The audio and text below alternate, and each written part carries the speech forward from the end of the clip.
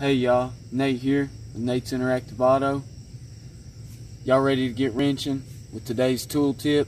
I know I am. This is a very important tip because nothing's more important than your safety. So always put your safety first.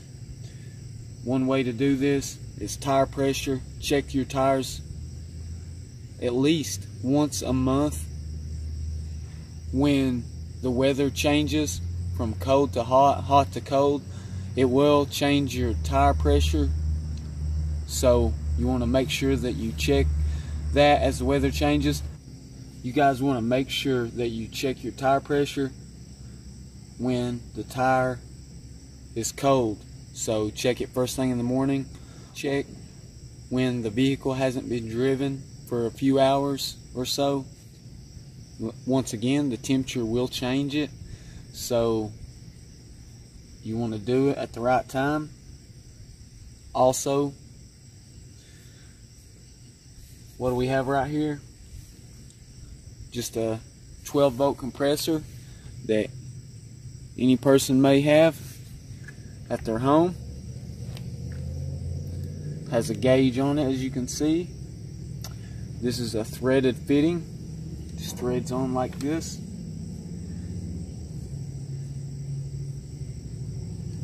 Okay, you want to take this off. You want to make sure to check your pressure first.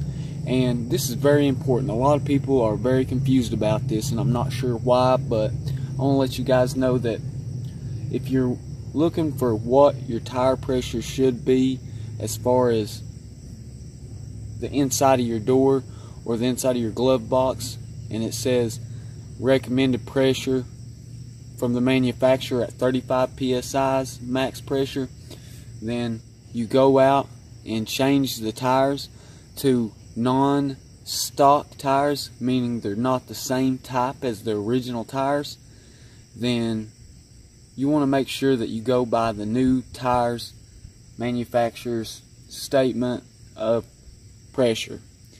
Now obviously if you have a four-wheel drive, if you have say a Mercedes and the front tires differ from the rear tires, and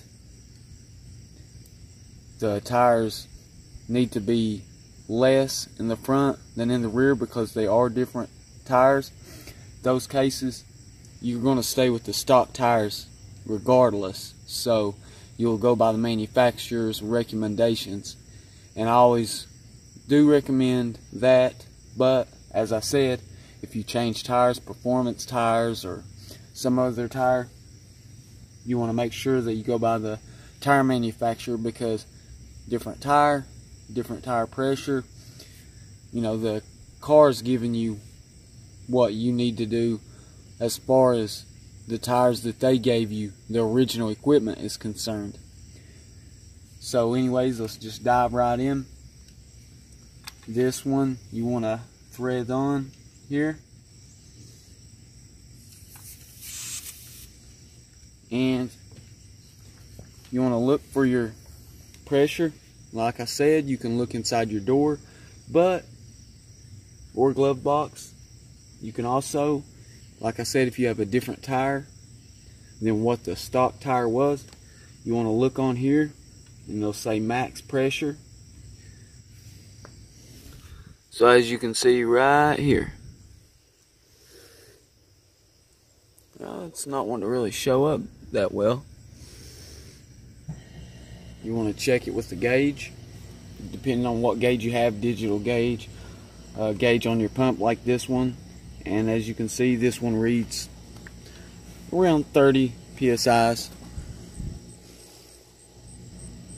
You guys want to make sure that you don't lose these caps for your valve caps because these are actually pretty important.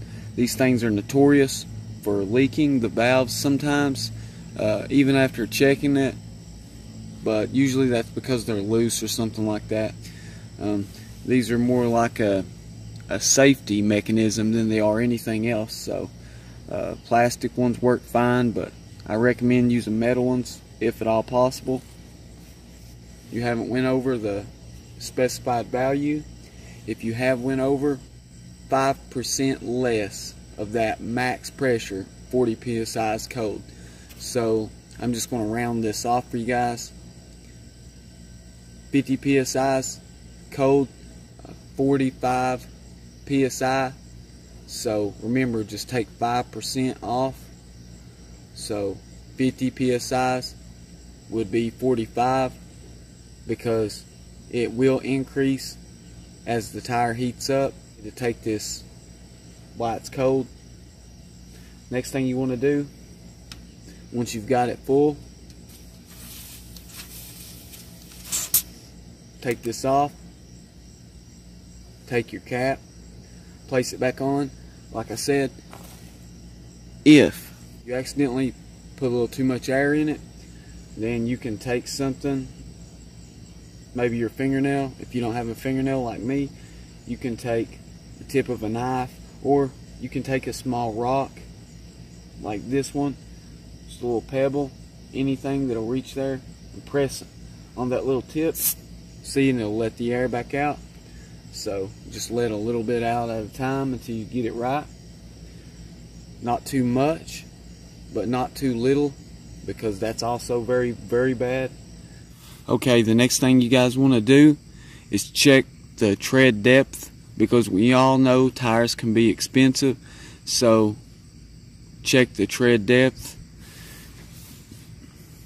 because you don't want to have to buy tires when it's too late. You want to know ahead of time in advance. So the more you guys know in advance, you know, you'll be able to prepare and buy those new tires because they are very expensive a lot of times.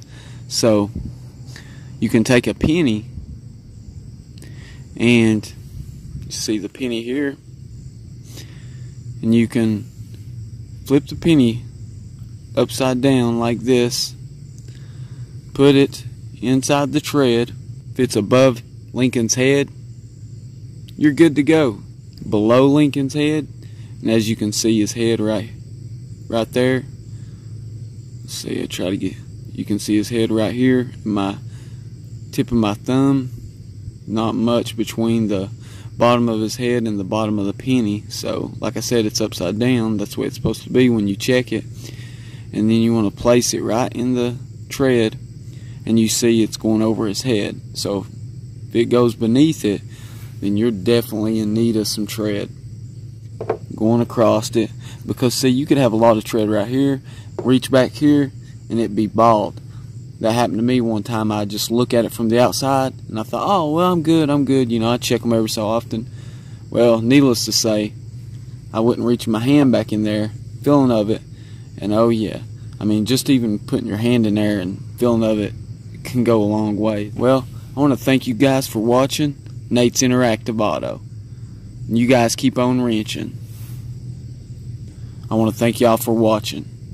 I appreciate you guys investing your time to watch these videos.